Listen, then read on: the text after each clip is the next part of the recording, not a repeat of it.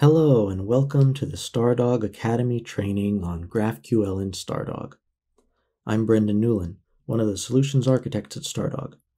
To let you know a bit more about me, I earned my PhD in the academic study of religions and cultures, then conducted research in leadership development, philanthropy, and the nonprofit sector.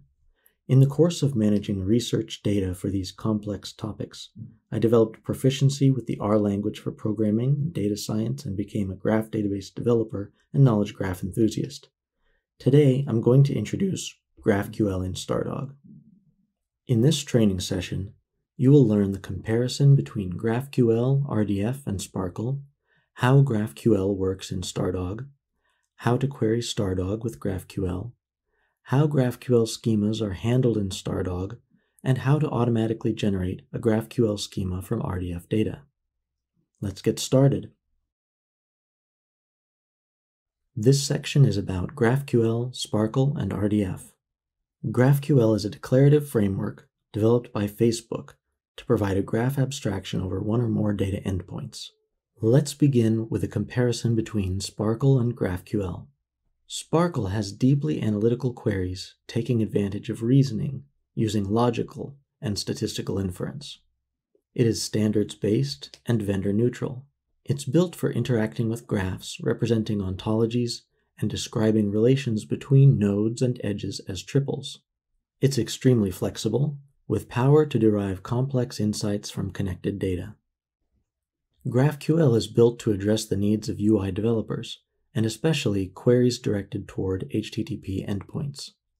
It's not well equipped for drawing connections between types or logical or statistical inference, and it has less expressivity. It describes a simple syntax that is better suited to more basic queries against a graph abstraction.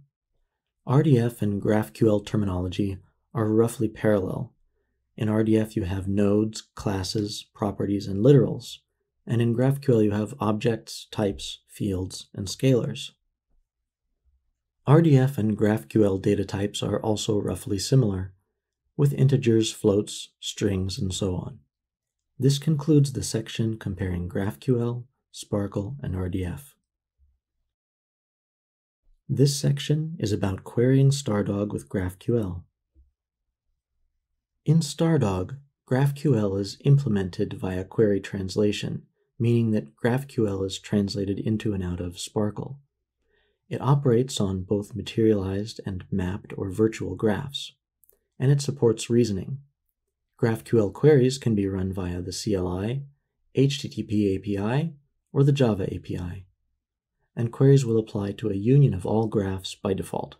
Here's an example of how you can use GraphQL in Stardog Studio. First, open Stardog Studio in your browser by navigating to stardog.studio and connecting to a server. Next, select GraphQL from the Languages menu at the bottom right.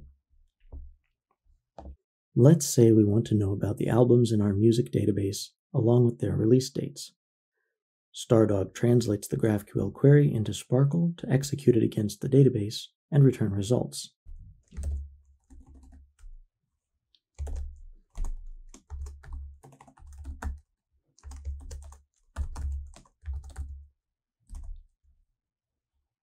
We might also want to know the name of the artist.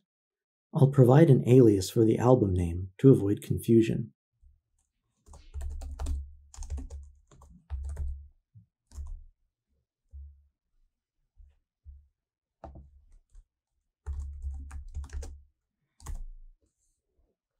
We may want different kinds of information about different kinds of artists. If the artist is a solo artist, we want to know the artist's name. But if it's a band, then we also want to know the names of all the band members. We might as well also add information about tracks on the album, like the names of songs, their lengths, and their descriptions.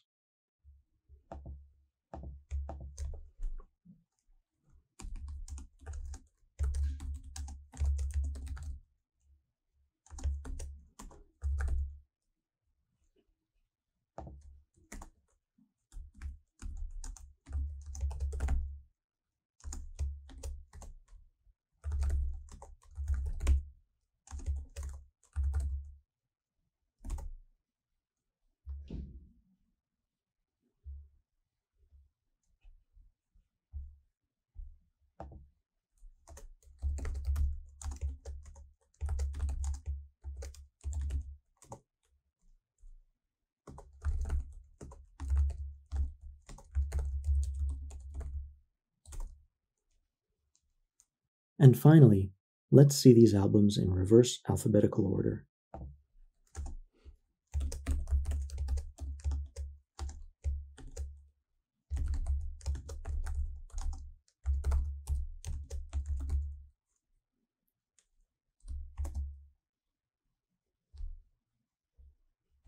Stardog has a read-only API for virtual graph queries, and queries can be defined in files that define the directives, the objects, and the object fields that you're interested in.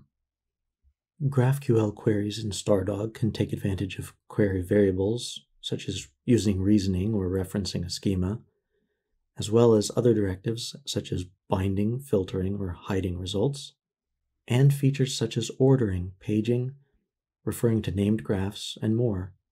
For more information, please refer to our docs. This concludes the section on querying Stardog with GraphQL.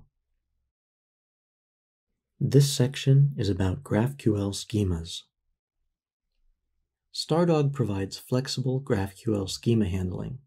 You can optionally use custom GraphQL schemas for things like translation, where you'd want to modify the default GraphQL to RDF or SPARQL mapping, for validation to define valid GraphQL instances, or restriction to limit a client's view of a graph to a particular schema, for example.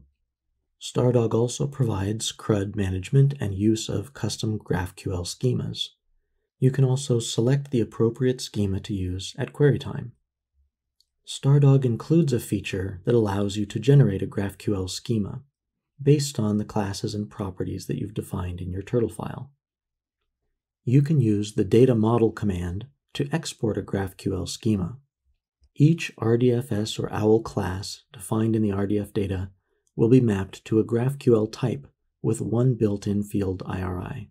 Any property whose domain is set to that class will be added as an additional field to the type. All the classes in the database will be exposed under the top-level query type. When exported as a GraphQL schema, the RDF data I showed earlier would look like this. This concludes the section on GraphQL schemas.